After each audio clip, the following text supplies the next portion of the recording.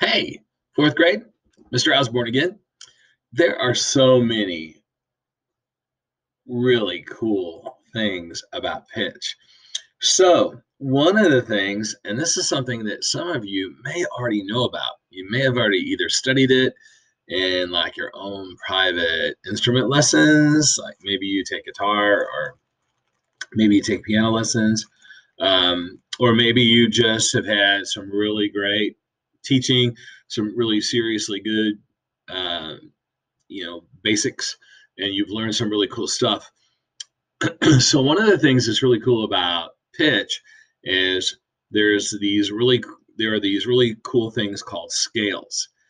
And you may have heard your older brothers sisters talk about it. Maybe you've heard mom or dad talk about it. Maybe you've had you know some other family member or maybe you yourself have already started learning about scales in your own music instrument study but if you've never seen it before and you have no idea what this is what you're looking at right here is a scale now you might remember um, a little bit ago i was showing you in the previous slide um, different scales like c D, E, F, G, A, B, and C. In fact, I think I actually played all those for you um, a little bit ago.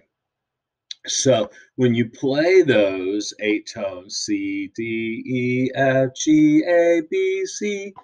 Um, by the way, you know what else is cool about this? You can do that with letter names like I just did. C, D, E, F, G, A, B, C. But did you also know you can do this really cool thing called solfege. And there's these really cool hand signs that go with it. So you start with do, re, mi, fa, sol, la, ti, do, do, re, mi, fa, sol, la, ti, do. Yeah, those are cool. And I may show you a picture of that a little bit later on, the different hand signs that you can use. Or you can just refer back to this video anytime you want, and I'll go through that. I'll do it one more time for you. Do, re, mi, fa, sol, la, ti, do. Yeah, that's kind of cool. Uh, so scale, you'll see here that the definition, here's your term, scale. And then the definition, a series of pitches arranged in half steps or whole steps. So yeah, that's the scale.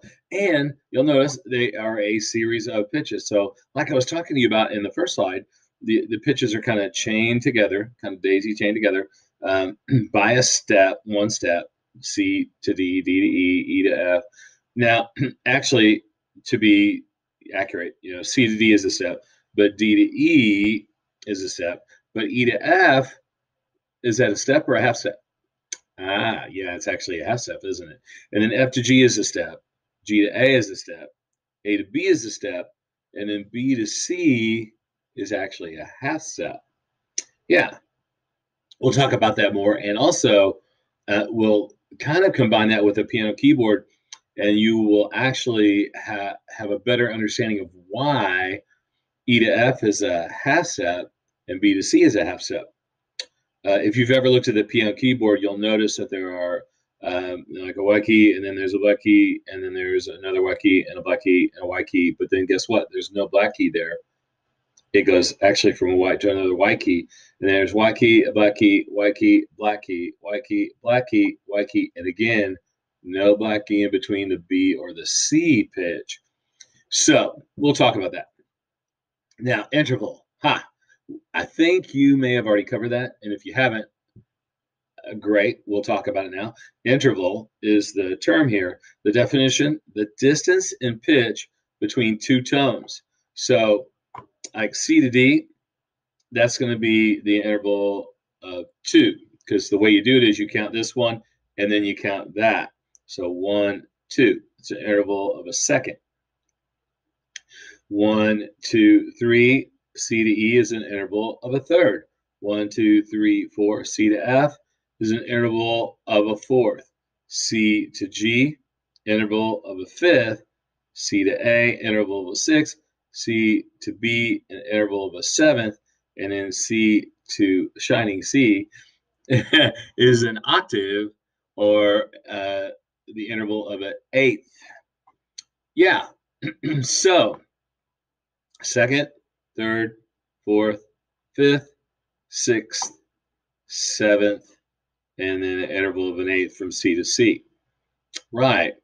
Now, what's also fun about intervals is you can actually use songs to kind of um, figure out the intervals.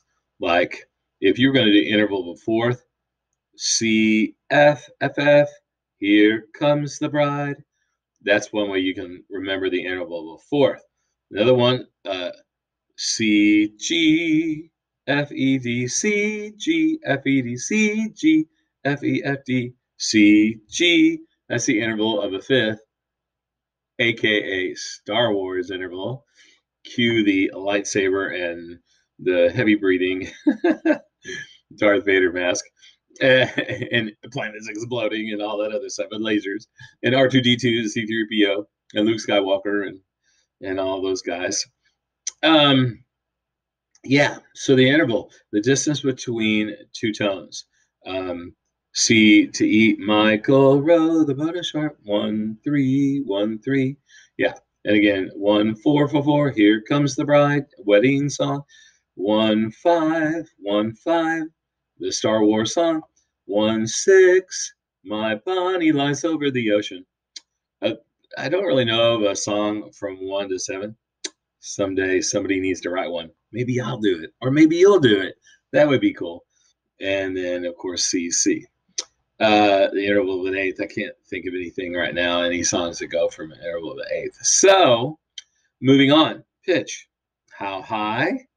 High C or low, low C, or anything in between, how high or low a, a note sounds. That's the pitch. The term is pitch, the definition, how high or how low a note can sound. Octave, we talked about that. Same note, eight tones higher or lower. So C, C, one, eight, octave.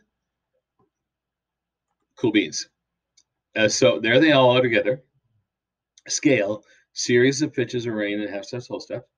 interval, distance of pitch between two tones, pitch, a high or low note goes or sounds, and an octave, uh, the exact same note, C, C, uh, eight tones higher or lower than the other. Okay, we'll talk a little bit more about pitch in the next slide.